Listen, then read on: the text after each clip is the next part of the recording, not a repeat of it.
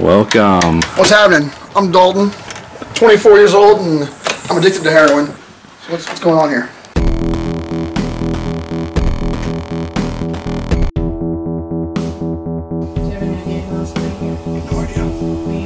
I thought this was gonna be interesting. I don't know any of these people very well at all. Somebody has to make out this one. Here you go, Tony. I heard there's some uh, cash involved, and you know, I'm all about the money. I don't have any kind of idea what I'm walking into. So we decided to play Hangman, because what else besides Hangman would be fun? Jay. Jay. Pretty uncommon letter. Batman. Nailed it. So here's the thing. You guys have been here for two hours. How you feeling so far? Cold.